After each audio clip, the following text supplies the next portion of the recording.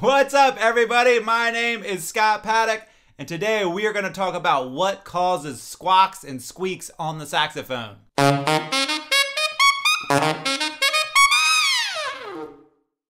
One of the questions that I'm asked the most often is why does my saxophone squeak when I go from C to D on the saxophone? So today I thought I would do uh, a video explaining a lot of the reasons for your squawks and squeaks. Now, of course, there are tons of different reasons for squawks and squeaks, but today I'm just going to hit some of the most common ones, uh, and I'm going to tell you how to fix them and make it so that you're like you're less likely to squawk and squeak. But playing the saxophone, you are definitely going to squeak every now and then. It happens to all of us. Okay, so let's start with the very first thing that I talked about. I'm asked about why the the C to the D squawks and squeaks a lot. And the reason for that is almost always that you're going from one finger, which is your C, to all of your fingers, which is D, or one, two, three, one, two, three, and one of the fingers is coming down slow. So it might be this one, it might be this one, just a finger is not coming down at the same time. So when you're doing that, when you're going from that C to D and all your fingers don't come down at the same time, you're definitely gonna get some kind of squawk. It's gonna sound like this.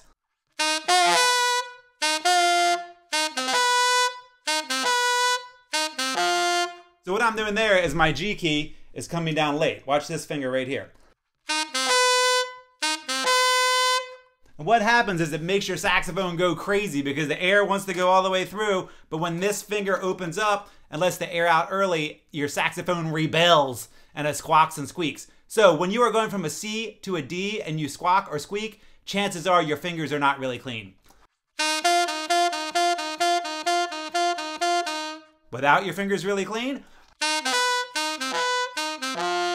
so you can hear me recreate it uh, very easily, and that is because it's a very simple problem to fix. All it is is getting your fingers working very evenly and clean together. Now, I explained that on a C to a D, but that can be on any note. When you're going from one note to the next note, if your fingers are not clean, you're gonna squawk and squeak. Uh, and you're gonna, it's more commonly gonna happen when you go from few fingers to a lot of fingers, but it could happen anywhere. If your fingers don't go down at the right time, you are gonna squawk and squeak. Another common reason that causes squawks and squeaks on the saxophone is incorrect tonguing.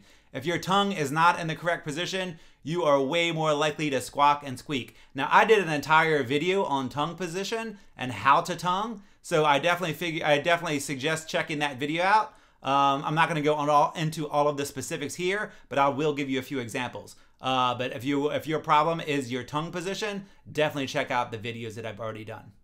Okay, so this is what it sounds like when your tongue is in the wrong position.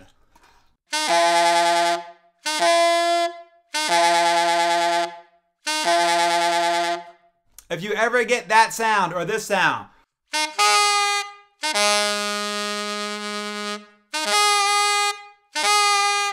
your sound is all wavy and honky and squealy. That means your tongue is in the wrong position. Uh, there are three basic tongue positions. When you're playing low notes, it's down in the all position, like you're trying to talk low like this. Uh, for the middle of your saxophone, where you don't usually squawk that much because of tongue position, is A, where your tongue is flat. And um, for your high notes, you're in the E position. So if you try to play a low note while your tongue is up in the E position, you're going to get this. Because your tongue is in the wrong position and the air is not hitting the saxophone in the correct way. If you are in the, if you're trying to play high note and you're in the A position, so in other words, I'm gonna try to play a high D, but I'm gonna get my tongue down in the in the A position.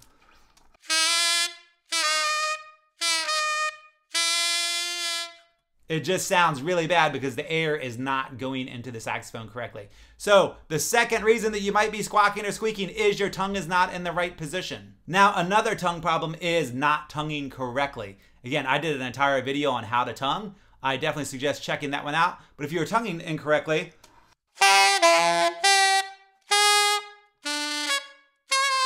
you're going to get those kinds of sounds because, again, your air is not getting into your saxophone correctly. You want your tongue to be in the right position. Uh, and if your tongue is in the right position, you are not going to squeak or squawk anymore. So when you hear a squawk or a squeak, think, are my fingers coming down together? If yes, then is my tongue in the correct position? If that's correct, then it might be your third problem. The third problem is a combination of the two your fingers and your tongue not lining up. Usually that means that you're tonguing a little bit before your fingers get to the right spot, and that causes a definite squawk, a definite squawk or squeak.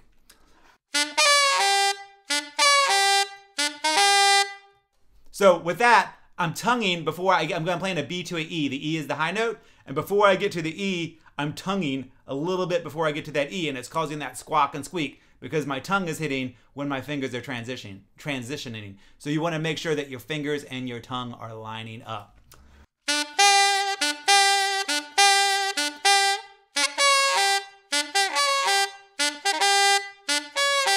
So you can hear how easy it is for me to transition between the two.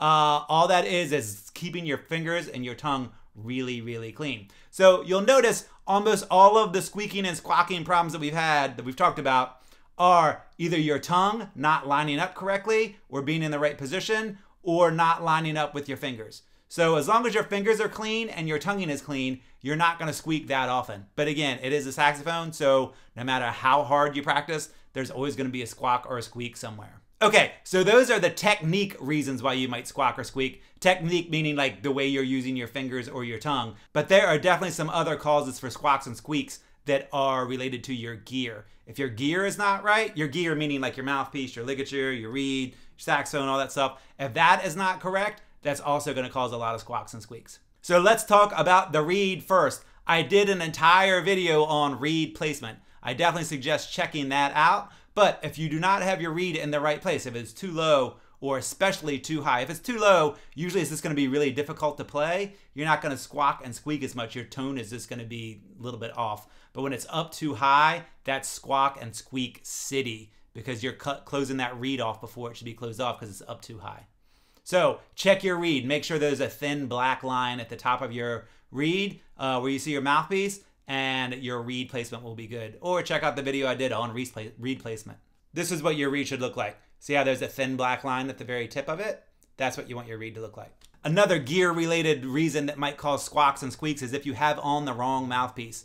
If you are a beginner to intermediate, you should be using a beginner to intermediate mouthpiece, not a super high-end professional mouthpiece. Because the super high-end professional mouthpieces do exactly what you tell them to do. They're kind of like race cars. So you're going to drive your race car different than you're going to drive a Toyota Camry. So if you have a super high end mouthpiece on and you're not a super high end player, uh, chances are that is causing your squawks and squeaks. So try a Meyer 5M or some kind of other uh, mid range mouthpiece and see if that works for you and if that gets rid of the squawks and squeaks. And last but not least, it could, of course, mean that your saxophone needs to go to the shop.